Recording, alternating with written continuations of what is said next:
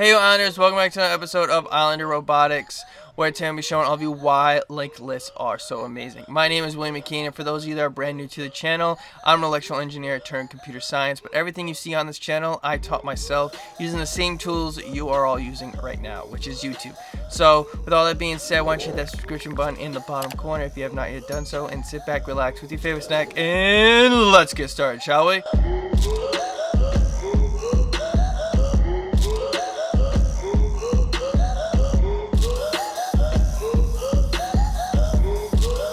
I hope you all enjoyed that intro. I really want to try something different in today's video. Let me know down in the comment section down below on what you all thought about it.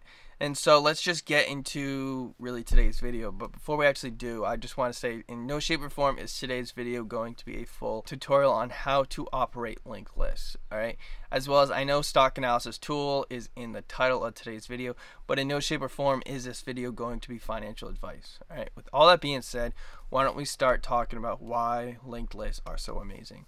As well as all of you, I know a lot of the, my viewers are Python developers that are just getting started. They're trying to use YouTube to learn how to actually develop in Python. Just like how I started off. I used YouTube throughout my essentially the infancy of my Python career. And really no one really talked about linked list on any of the channels I was watching. It was not until I switched majors from electrical engineer to computer science that I learned about linked lists. And they're really an amazing thing for two reasons.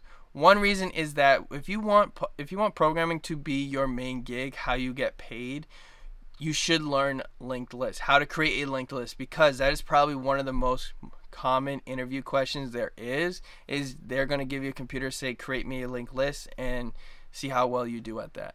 As well as linked lists are really the beginning for so many different higher up data structures. I mean, not just besides integers or floats or lists or dictionaries, which I originally thought was the only data structures there were, but linked list is the foundations for a lot higher up, more efficient data structures that you can use within your Python, I mean your programming career.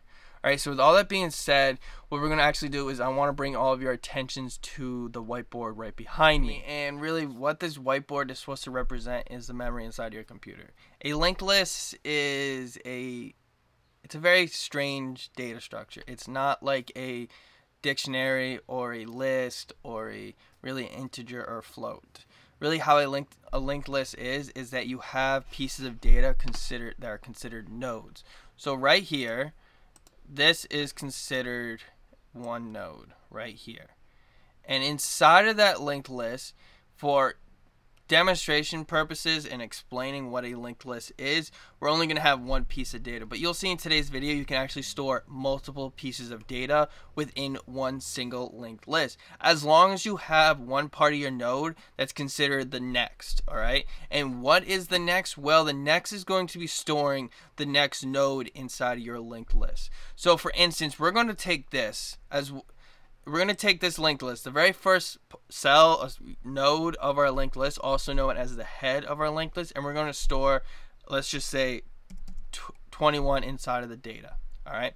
Now, when we add another node, what the next is actually doing is storing the memory address of the next node. So let's just say we want,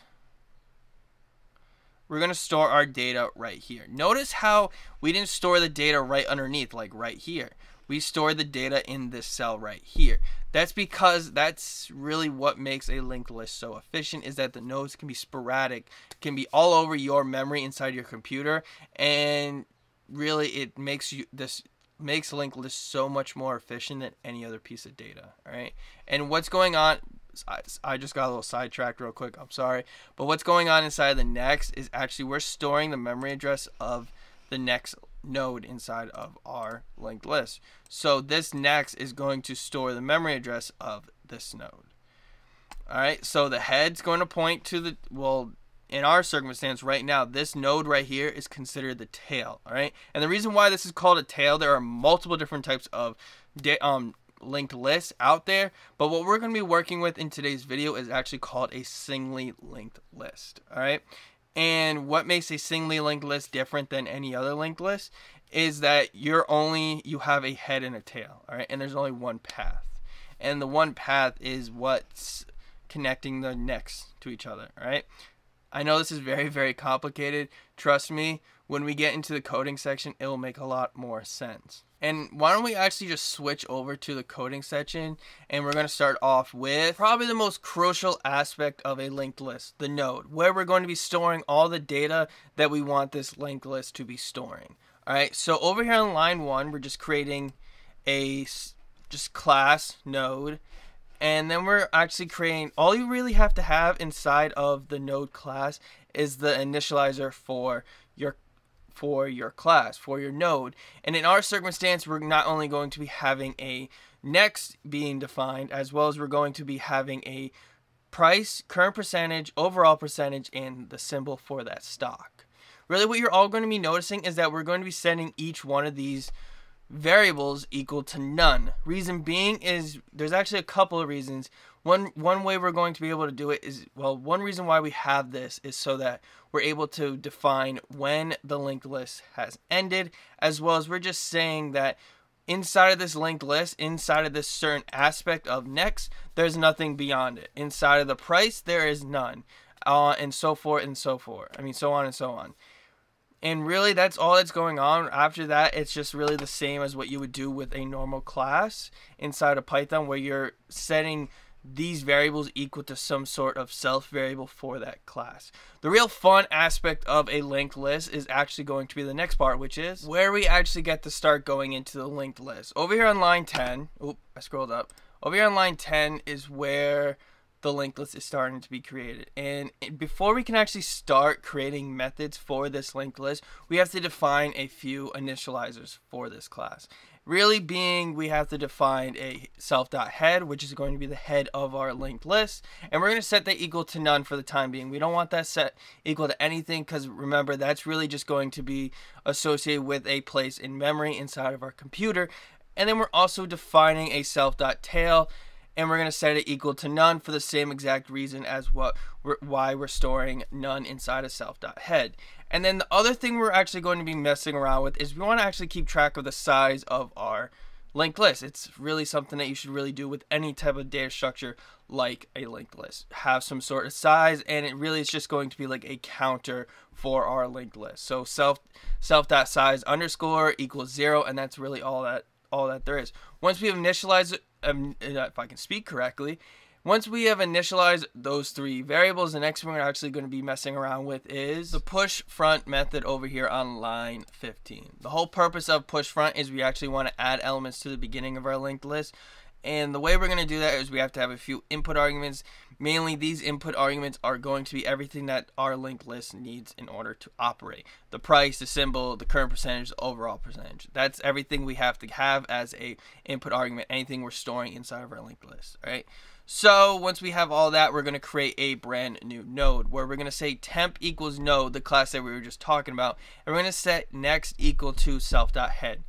Self.head in this circumstance, we'll get more on this in a couple of seconds, but we're talking about the memory address of the beginning of our linked list. Not what's inside of the linked list, but the memory address associated with our linked list. All right. And in this circumstance, we have this set equal to self dot head.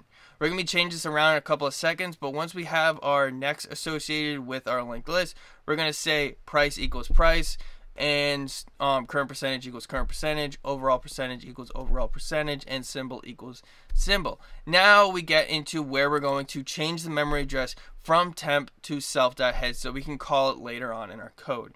And that's that's what we're doing here. This self.head that we're talking about here is not the same self.head that we're talking about inside of the next. And I mean, that we're setting next equal to inside of the node. What we're talking about here is we're just creating it. Essentially, you could kind of think as we're moving the memory address of self.head to the beginning of our new linked list, which is associated with this temp. All right, that's really all that's going on is we're working with memory addresses. The next thing we're going to be messing around with is we actually, since we added to our linked list, we now have to, well, we just have to increase the size by one. So self.size plus equals one, just really because it's a counter. The fun part, and this is really just because we're creating a singly linked list, we're going to say if self.size um, is equal to 1, we're going to say self.tail equals self.head. The reason being is because we want to link the head and the tail together. And in order to do that, if there's no associated data that's combining these two memory addresses or these two variables, we're not going to be able to call we're not going to be able to call them essentially. And so that's really all that's going on right here. And the next thing we're actually going to be working with is this pushback method right here on line 23. Now we're going to have the same input arguments as what we had for push front. The only difference is the meat inside of this code, well, inside of this method, which is just going to say, we're going to say self.tails.next. So the memory address of self.tail.next, we're going to set it equal to the new node of this. Same input arguments as before. The only difference is we're not going to, we're going to exclude the next input argument.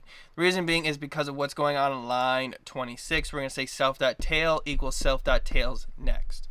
So what we're doing here is now self.tail becomes the new tail of the node and the old tail now becomes self.tails new net. I mean the new tails next kind of confusing. Again, leave, go ahead and leave questions down below. But next thing we're going to actually be talking about is something that you, you normally do not see when you're working with linked lists, but I personally enjoy having this method inside of all my linked lists, really just because of how really versatile this method is. And this method I keep talking so highly about is actually this dynamic method it's not a very typical like if your professor was to show all of you how to create a linked list they would probably not have a method like this within their class. Really just because it doesn't really it's not really something that you would normally use with any linked list, but I consider it kind of my safety net and that is really just because when I call dynamic, I have an algorithm that's able to tell if I've already had something imported into my linked list or not. So if the self.size is equal to zero, meaning there is nothing inside of my linked list. The self.head still none. The self.tail is still none. We're actually going to call self.push. And there, I mean push front, and therefore we're going to get a brand new method added to the very beginning of our linked list. If the size is greater than zero, meaning it's not zero, we're actually going to be calling push dot well push back. And that's so that everything else is getting added to the end of a list. Again, this is kind of like a safety net for me. I personally enjoy having this method within my linked list. Next thing we're actually going to be talking about print values method right here on line 34. Now, when you're creating a linked list or any data structure like a linked list, it's a very good idea to have some sort of output so that you can see what's going on within your data structure.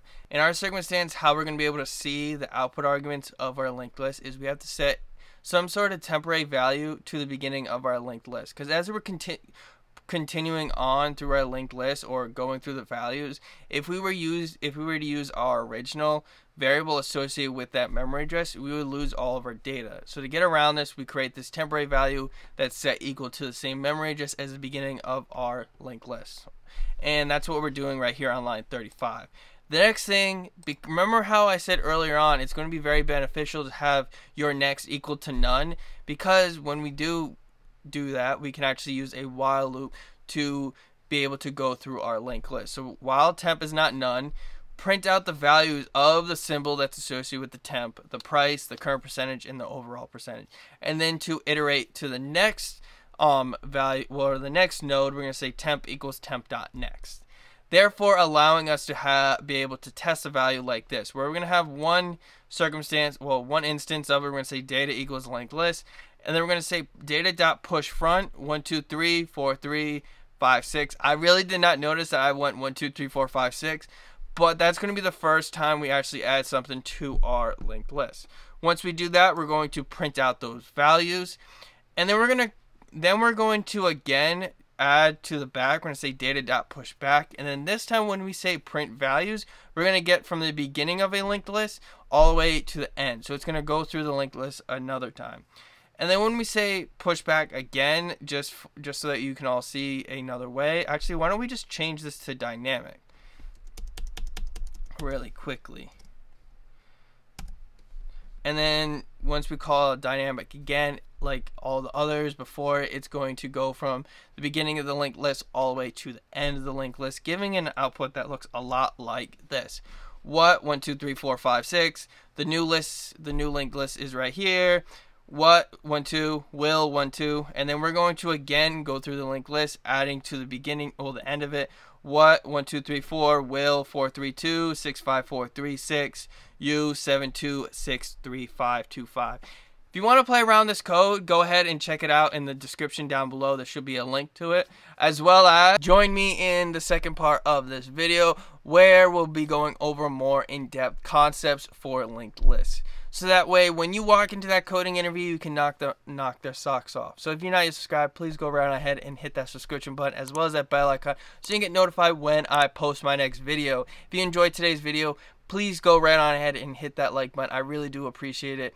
And if you have any questions, go right on ahead and leave it down in the comment section down below. I really do suggest, well, I recommend all of you to go on go into the description bar down below click on the link for today's code and mess around with linked lists get yourself a great understanding over the concepts concepts we were talking about in today's video so that way on wednesday at 5 o'clock eastern standard time you can all jump right into that video and learn even more about linked lists. As always, happy coding, and I'll see you all in next video. Bye!